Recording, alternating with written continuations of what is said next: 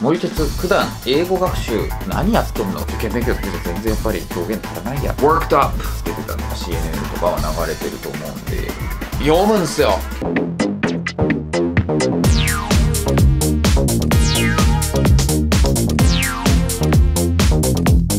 はい、始まりました。もりてつチャンネル。さあ、今回はですね、もりてつ、普段英語学習何やってんのっていうのでね、そちら答えていこうかなと思います。結構来るんですよ。どうやって英語学習してるんですかとかってね、言うんですけど、まあ、ぶっちゃけ多分皆さんの想像しているような英語学習というのはしてないと思います。なんかね、 TOEIC 何時間勉強してんですか？ね、満点取るために何の勉強してんですか？とかって言われるんですけど、何にもしてないですよ。 TOEIC の勉強は。一切してません。なんで、 TOEIC をこう勉強して満点取るっていう段階にはいないので、僕もそう思ってましたよ。どうやってやってんだろうっていうね、その昔、こう、 TOEIC 満点をね、連発で取ってる人たちがいて、この人たちどうやって勉強してんだろうって思ってました。でも言われたのが、いや、勉強なんかしてないよって言われて、えー、そうなの？って自分もそうなったから、いらないんだ確かにっていうのは分かりました。じゃあ一体どうしてんのかっていうわけなんですけどえ、まず自分がやっているのは勉強というよりただ英語に触れるって感じですね。で、まず朝起きたら、まあ朝起きても昼ぐらいなんですけど、最近はですね、まあ BBC とか CNN のニュースを見ますね。まあパソコンで動画を見たりとか、ただ読むだけのもあるんですけど、そういうの見たりするし、まあテレビある人はね、スカパーとかに入ってますよね。それで CNN とかね、BBC 流して見るとかっていうのもある。朝だと多分アメリカの番組が CNN とかは流れてると思うんで、アンダーソン・クーパーとかさ、で、BBC ニュースとかもね、やってると思うんで、で、あとニュース触れるのはこの、まあ、ジャパンニュースですね、私読むのは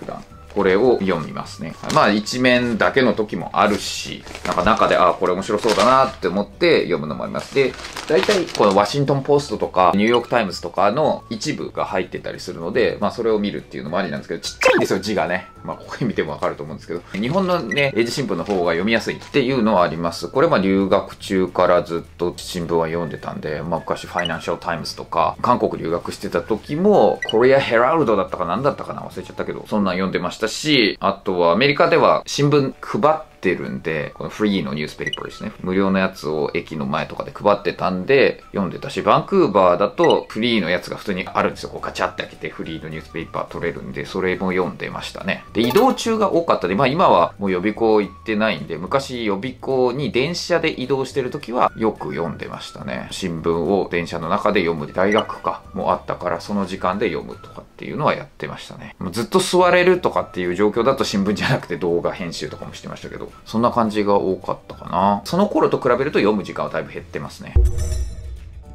じゃあ他何が多いかっていうともう圧倒的にジョジョとかかな。ネットフリックスですよ。ネットフリックスをがっつり見てるかな。今はジョジョの奇妙な冒険の英語の音声にして見てます。で、ああ、懐かしいな、これ聞いたな、とかっていう表現がいっぱい出てくる。例えば、大学入試までで勉強してなくて、まあ2話見たんですけど、それだけでも、例えば、Go South かね、こう下に行く、うまく物事がいかないとかっていうやつでね、なんでこんなダメになっちゃうんだみたいな出てたと思いますけど、worked up 出てたね、怒るとかってやつですけど、grudge 出てた、hold a grudge って言ってたね、恨みを持つとか、こういうのってめちゃめちゃ聞いた表現だけど、日本では全然入試の勉強では出てこなかったね。smark とかもそうね、smark art とかね、言ってたね、I messed up とかってね、これ messed up はよく使った表現だね、全然うまくいかない時とかに超使った。close in とかね、そうそう、だんだんだんだんこう近づいてくるとか、攻撃がこう近づいてくるっていう時に使ってましたね。クローズインとか。悪い言葉もいっぱいある。フリーバッグとかね。汚い動物とか、こう犬とかに使ったりするとか。レキッチ。はい、これも出てた。破壊、残骸とか。これ、ジョージョの奇妙なボケ何回も出てるな、これ。あ、セネスターも出てたね。不吉なってね、いう表現。これも日常生活で覚えたな。treacherous とかもそうだね。不誠実なところ。危険なって意味でですよね、確かに。predicament。あ、これ難しい表現ですね。窮地とか、硬い表現ですけど、これも出てた。とかも言ってたね。とかっていうのが、もう、さっき普通に見てただけでも、ああ、これ入試までで習ってないっていうのをメモっといたやつです。で、別にあの、メモったりはしない。まあ、もう本当に完全に聞いたことなかったら、ああ、そうなんだっつって調べると思う。やっぱね、漫画はいいんですよ。こういう風に新たな表現をね、覚えさせてくれる。で、どうやって使うのかなとかって思ったら、オンライン英会話で聞いてみたりしますね。これどうとか、こういうのってどうやって使えばいいの？みたいなのをやったりするわけですね。で、さらにですね、漫画はですね、アニメ見るだけじゃなくてね、読むんすよ。届いたワンピースいやー3月か。注文したの9月ですよ、まあ、発売前だったから、まあ、待つことにはなると思ってたんだけど。長かった。それでもめちゃめちゃ遅れましたね。これのね、ために一冊一冊私買わないんですよ、ワンピース英語版。こうやってセットなんですよ。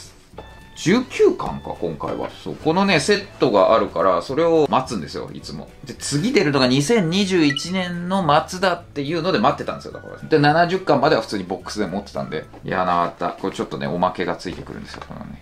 めっちゃ誇りがすごいってやけど。どういうこと？なんで、まあ、これらを読んだりしますね。で、読めば、まあ、普通に大学入試までなら get lost とかいきなり出てきますね。うせろってやつですね。これめちゃめちゃ読んでれば出てきますけど。でさっき見てた、そのジョジョでも出てますけど、ベラミーじゃん、懐かしい。ドレスローザ編ですね、これね。これまた何年も待たなきゃいけないんで、ボックスセット。もしかしたらここから先は1巻ずつ買おうかな。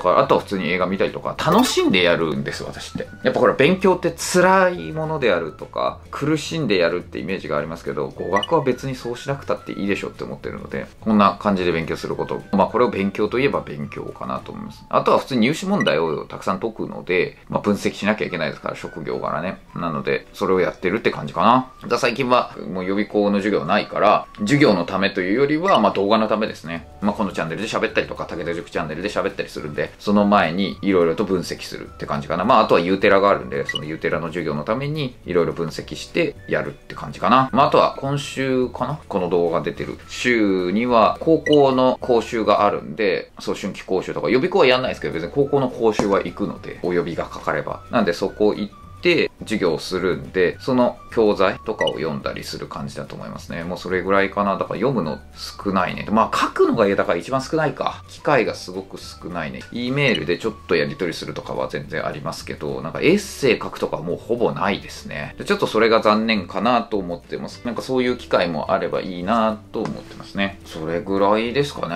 やることは。まあ、あとは、あ、そっか、 TOEICの教材が今あるんで、それの教材の動画を撮らなきゃいけないんで、今度、撮影あるんで、今その TOEIC教材の見直ししてますね。チェックしてるって感じ。そういう感じなんですよ。だから皆さんがね、多分思っているのはね、単語帳、何やってるんですか？どうやってこう単語帳見て単語覚えてるんですか？だから単語帳は好きは好きですよ。やるの全然。なんかすごい難しい単語とか見るの好きだし、いろんな言語でもやるの好きなんですけど、まあやってないですね。入試問題もね、読むのは別に苦じゃないから、それはやることはあるけど、だから問題を解いてとかっていう勉強はしてません。入試問題以外は。過去問です。だから参考書でやるとかはないんですよ。まあなんか企画としてやってもいいかなとは思いますけど、はい、実はこんな感じでした。皆さんのお力になるかは分かりませんが、はい。実はこういう感じで私は英語に触れていました。でもやっぱこれをね、すべてやっぱ生活英語にしたいんで、やはり移住したいっていうのはあります。もうアメリカで暮らしたいっていうのはあります。もう YouTube で暮らせるっていうのは分かったんですけど、まあビザ取るのにね、投資ビザは7000万円ぐらい貯めなきゃいけないですから、はい。ちょっと頑張んなきゃいけないなと思ってます。ちょっとね、いつから始まるか分かりませんが、アメリカ編を皆様に見せられるよう頑張りますので、ぜひとも応援よろしくお願いします。まあ皆さんもね、ぜひ、まあ、受験生でもね、る程度レベルがいけば、ドラマとか映画とかね、楽しんで、漫画とかもね、楽しめると思いますので、ね、それを楽しめるようになるために頑張るっていうのもいいかもしれませんし、まあ、あとは日本語で見ててもう分かってるから、英語で見ても、まあ、全部は聞き取れなくても分かるよっていう状況になれると思うんで、ぜひそういうのね、試してもらえればいいんじゃないかなと思いますよ。受験とかで勉強してるその基礎っていうのは本当に役立ちますからね。ら両方感じると思う。あ、これ受験勉強してて聞けるようになったよかったとかね、わかるんだってっていうのもあると思うし、あ、受験勉強だけで全然やっぱり表現足らないやって感じることもあると思うんです。だから両方を味わえると思いますよ。でも自分はそれが好きだったんで、その両方味わって楽しいって思える人間だったんでよかったんですけど、まあ苦痛って思っちゃうと続けるの大変かもしれないですけどね。まあただ、苦行的にね、勉強するの好きだっていう人もいるんでね、テスト好きな人とか結構そういう人も多いんでね。なかなか難しいところではありますが、はい、 TOEICの学習だったりとか、受験勉強の学習がそれに役立ててもらえればいいんじゃないかと僕は思ってますので、はい、ぜひ参考にできる方は参考にしてみてください。はい。ということで、こうやって僕は普段英語に触れているんだよということでした。はい、ご視聴ありがとうございました。Thank you for watching.